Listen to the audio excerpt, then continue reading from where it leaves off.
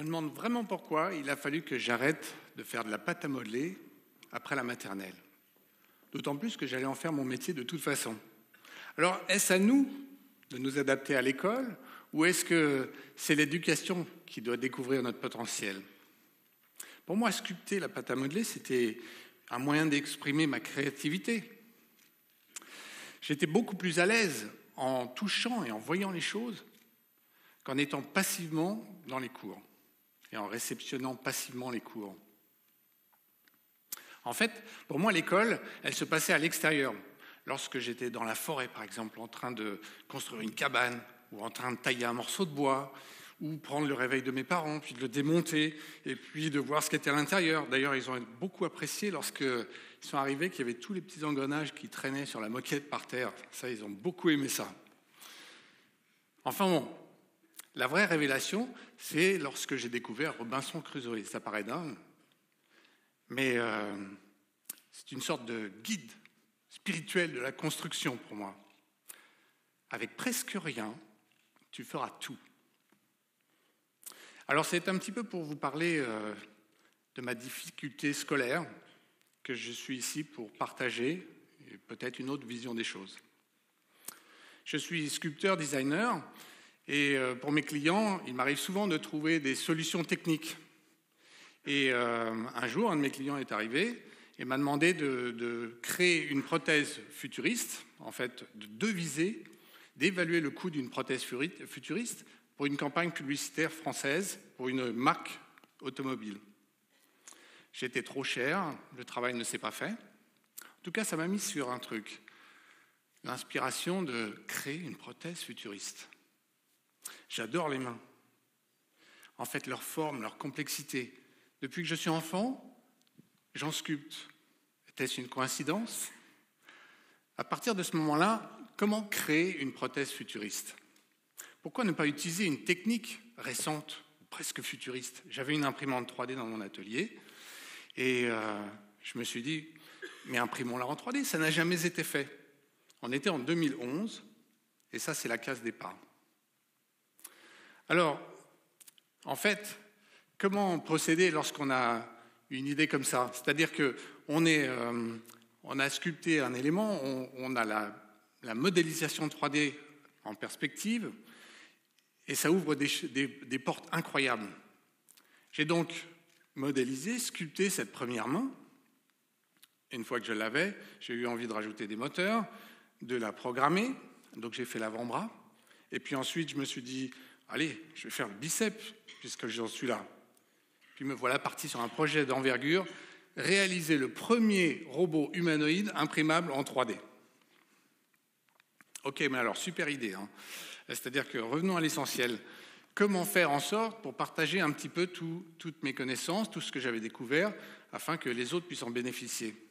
Alors comme vous, certainement, j'utilise euh, Internet pour m'informer, pour découvrir, pour apprendre des choses, mais aussi pour télécharger des logiciels comme euh, OpenOffice, qui m'a servi à faire ce magnifique diaporama, ou Blender, qui est un logiciel de modélisation en 3D gratuit, qui m'a permis de sculpter tout le robot ou Linux, qui est un système d'exploitation qui permet de faire tourner le robot également. C'est sur ce principe en fait que j'ai voulu rendre à toute cette communauté euh, les outils magnifiques et gratuits qu'elle avait mis à ma disposition. J'ai donc partagé sur une plateforme ouverte les fichiers de la main et les fichiers du robot.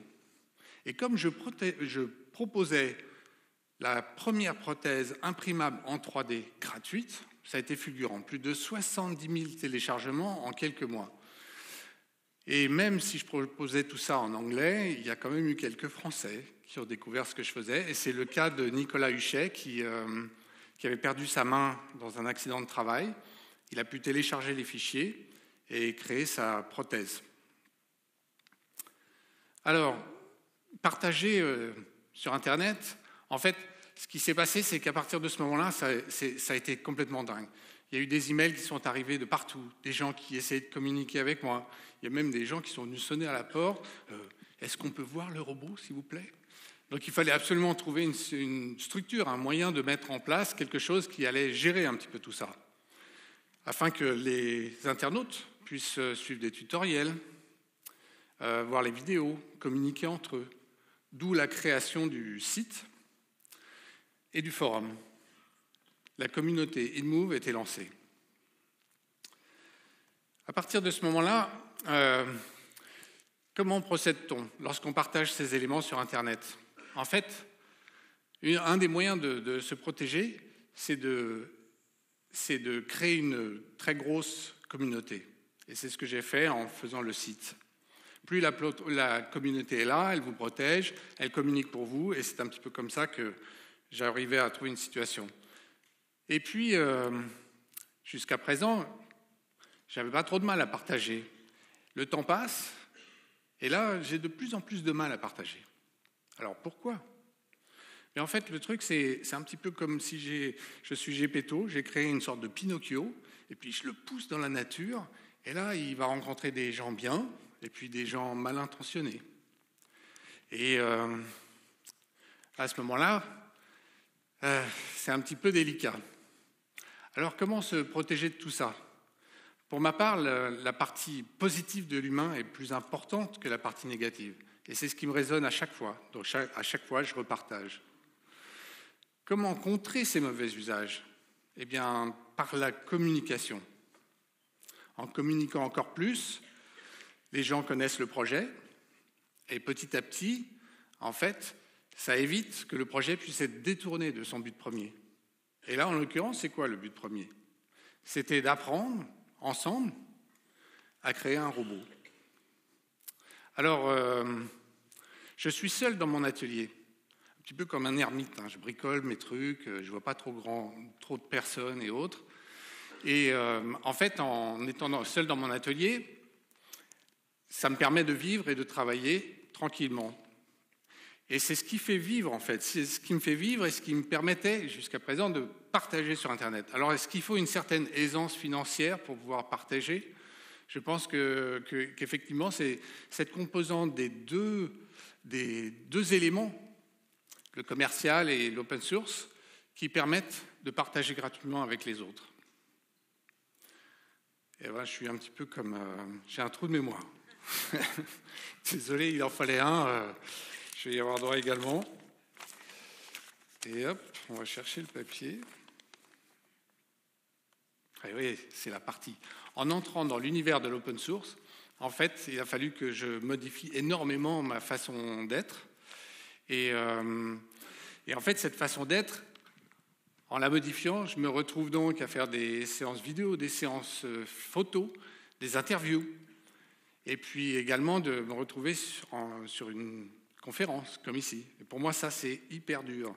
Hyper dur parce que lorsque j'étais enfant, à l'école, et qu'il fallait aller devant toute la classe pour réciter la poésie que je n'avais absolument pas appris, parce que, en fait, j'étais dans l'atelier de mes parents en train de bricoler un truc euh, super génial. D'ailleurs, un des trucs que je faisais, c'était de construire un petit sous-marin avec des planches en bois dans lequel j'allais m'installer pour aller explorer le, lac de mon voisin. Euh, je pense que heureusement que ça, c'est jamais, j'ai jamais réussi à le faire parce que sinon, je serais certainement pas ici aujourd'hui.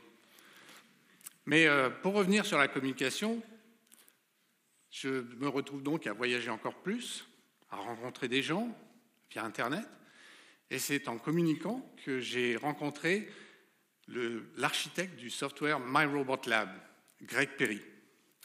MyRobotLab, c'est un software open source sous Java qui permet de gérer des services en robotique. Autour de, ce software, il y a plein, de développeurs qui gravitent. Et c'est grâce à ces codes que j'ai pu donner vie au robot. Soi-disant, hein, ce n'est pas vraiment une vraie vie, mais une sorte de vie. Et donc, euh, ces, développeurs qui gravitent autour de cette plateforme ont un incroyable potentiel. Euh, certains d'entre eux sont capables de faire des codes qui, qui m'ont toujours surpris. C'est-à-dire que, je vais vous donner un petit exemple. En fait, j'avais sculpté la tête, sculpté la mâchoire, toute sa mécanique. Il n'y avait pas de corrélation entre la parole et euh, la, la mâchoire qui pouvait bouger. Et donc un Australien, Joël Hackett, dans son atelier, ce qu'il a fait, c'est qu'il a écrit un code qu'il a partagé sur le site, qu'on a pu intégrer dans le robot. Et un beau matin, en démarrant le robot, il savait parler. C'est un peu ça l'open source quand même. Alors aujourd'hui, euh, le robot, il a deux caméras. Donc il peut faire du face tracking, il peut voir des objets. Il a également euh, une Kinect qui lui permet de voir en trois dimensions. Il peut apprendre à faire des gestuels. Il a un capteur qui lui permet de détecter la présence humaine. Si quelqu'un rentre dans son champ d'action, il peut se réveiller. Ensuite, il a des capteurs au niveau des doigts qui lui permettent de, de prendre des objets et de déterminer la pression qu'il exerce sur les objets. Une plateforme mobile temporaire qui lui permet de se déplacer dans l'espace. Et puis surtout, il est capable de parler et puis euh, d'entendre. Alors, démonstration. C'est ce que vous attendez, non?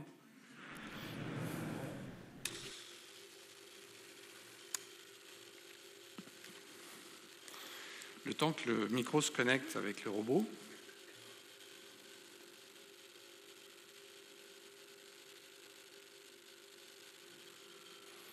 Hello. I do too. Hello.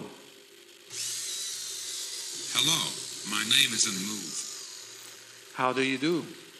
I'm fine, thank you. Nice. You were damn right. Take the ball. Did you say? Take the ball. Yes. Okay.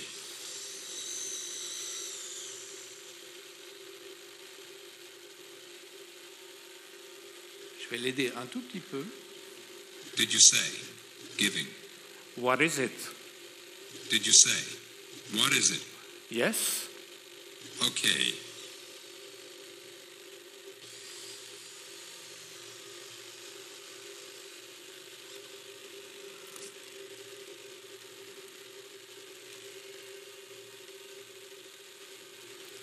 Je l'aide un peu encore une fois. Did you say? I think camera so. ball. Release delicate. Did you say? Release delicate? Yes. Okay. Cycle gesture 3. Did you say? Cycle gesture three? Yes. Okay. Donc vous pouvez voir que chaque doigt est motorisé séparément. Toutes les pièces sont imprimées en 3D.